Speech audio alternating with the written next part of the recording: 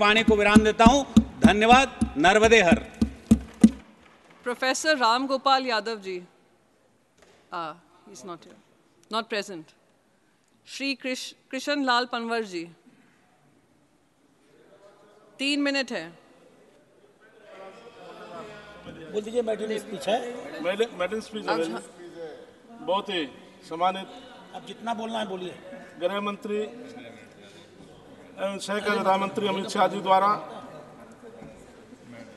जम्मू कश्मीर का जो पुनर्गठन संशोधन विधेयक 2023 जम्मू कश्मीर आरक्षण संशोधन विधेयक 2023 जो पेश किया मैं उसका समर्थन करता हूँ। चेयरमैन मोहिदिया। मोदी। लिंग बदल गया। मोदिया बोला मैं लिंग बदल गया। इतने अच्छा, चेयरमैन साहब। डॉक्टर भीमराव अंबेडकर जो संविधान निर्माता जो स्टैंडिंग कमेटी के स्टैंडिंग कमेटी के जो चेयरमैन थे उन्होंने एक स्टैंडिंग नोट दिया था कि धारा 370 स्थायी तौर पर ना लगाई जाए। लेकिन पंडित जवाहरलाल नेहरू की वजारत में लॉ मिनिस्टर थे। सेम सेम जब जम्मू कश्मीर के जो अनुसूचित जाति, जनजाति के समाज के लोगों एवं पूरे देश के अनुसूचित जाति, समाज के लोगों के ऊपर जब अत्याचार हो रहे थे तो उन्होंने विरोध किया तो पार्लियामेंट में उनको बोलने से मना किया तो अपने रिजाइन से पद देकर बाहर आ गए थे। उन्नीस सौ बावन में जब उन्होंने लोकसभा का चुनाव लड़ा तो कांग्रेस पार्टी के लोगों ने उनको हराने का काम किया था।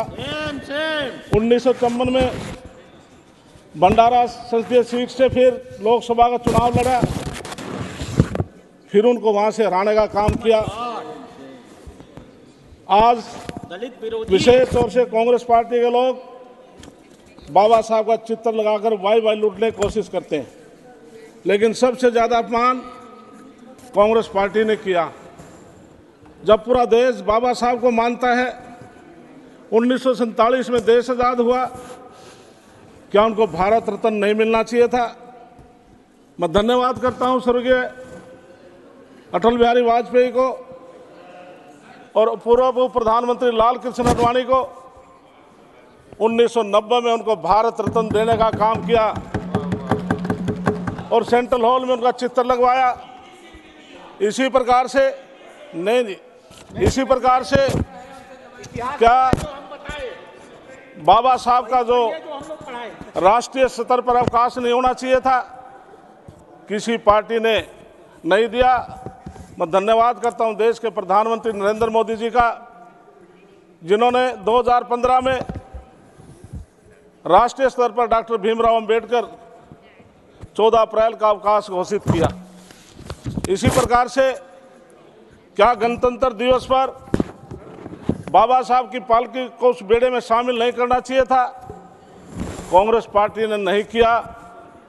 2016 में प्रधानमंत्री नरेंद्र मोदी जी ने बाबा साहब की इस पालकी को बेड़े में शामिल करने का काम किया।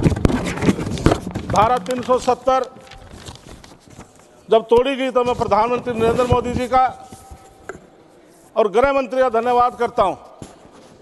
क्योंकि सबसे ज़्यादा वहाँ पर पीड़ित थे तो अनुसूचित जाति समाज के लोग थे। वहाँ पर भारत का किसी व्यक्ति को नौकरी करने का अधिकार नहीं था, ज़मीन लेने का अधिकार नहीं था, व्यापार करने का अधिकार नहीं था, रिश्ते नाते करने का अधिकार नहीं था, केवल एक अधिकार था, हिंदुस्तान का कोई व्यक्ति जा करके वहाँ पर केवल सफ़ाई कर्मचारी का काम कर सकता था। ये पोजीशन हिंदुस्तानियों की थी। सेम सेम इसी प्रकार से नरेंद्र मोदी जी ने जो बाबा साहब के जो पंच तीर्थ स्थान थे उनका जन्म स्थान था, लंदन में शिक्षा की, नागपुर में दीक्षा दी और दिल्ली जनपद पर जहाँ जहाँ पर वो रहते थे, पंच तीर्थ स्थान बनाए और वहाँ पर 100 करोड़ से जावेद लाख, सौ करोड़ से ज़्यादा पैसे खर्च करके आज पंच लोग जाते हैं, लाखों लोग वहाँ दर्शन करके आते हैं। प्रधानमंत्री जी ने जो मुंबई के अंदर बीचों बीच इंदर मिल्स कंपाउंड, उस पर भी 400 करोड़ रुपए खर्च करके बाबा साहब के नाम बनाने का काम किया। हमारे नहीं नहीं, जम्मू कश्मीर से जुड़ा विस्तार बाबा साहब का भाई हाँ बोलिए बोलिए। इसी प्रकार से हमारे कांग्रेस शा, शासन काल में जो बाबा साहब की जो सामग्री थी जो यूज़ करते थे उन पर दीमक लग गए थे। लेकिन प्रधानमंत्री नरेंद्र मोदी जी ने चिचोली के अंदर चिचोली में पचास पॉइंट छिहत्तर करोड़ की लागत से साढ़े ग्यारह एकड़ ज़मीन पर वो खर्च करके वो संग्रहालय बनाने का काम किया। इसी प्रकार से कांग्रेस पार्टी ने सदा उनका अपमान करने की कोशिश की।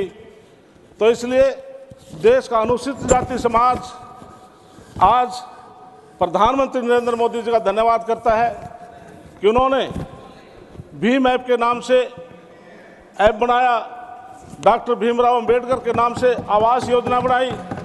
तो कितने काम बाबा साहब से के नाम से उन्होंने नहीं किए। इसलिए कांग्रेस पार्टी देश आज़ाद होने के बाद लगभग देश पर राज किया, लेकिन अनुसूचित जमात जाति का पाँच साल में केवल वोट हासिल करने के लिए ये वोट बहुत आसानी से ले जाते थे। आज की जो कैबिनेट है नरेंद्र मोदी जी की, बारह हमारे एससी समाज के मंत्री हैं। ये पहली बार ऐसा हुआ है और इसी प्रकार से जिस प्रकार से संत गुरुदास जी महाराज ने कहा था, ऐसा चाहूँ राज में सभी को मिले अन्न। छोट बड़े सम बसे रहे दास रहे पनसन इसलिए 80 करोड़ लोगों को कोरोना काल से लेकर आज तक और पाँच साल आगे के लिए भी माननीय प्रधानमंत्री ने गरीब आदमियों की सहायता के लिए उनके लिए फ्री अनाज देने की बात भी कही है। इसी प्रकार से हमारा जो समाज है, आज पूर्ण रूप से बाबा साहब का जो सम्मान नरेंद्र मोदी जी ने किया और भारतीय जनता पार्टी ने किया है, हम नमन करते हैं। और आने वाले समय भी दलित समाज, भारतीय जनता पार्टी और नरेंद्र मोदी जी के पक्ष में है तो इसलिए मैं दोबारा फिर आपका धन्यवाद करता हूँ बोलने का अवसर दिया। धन्यवाद। Thank you.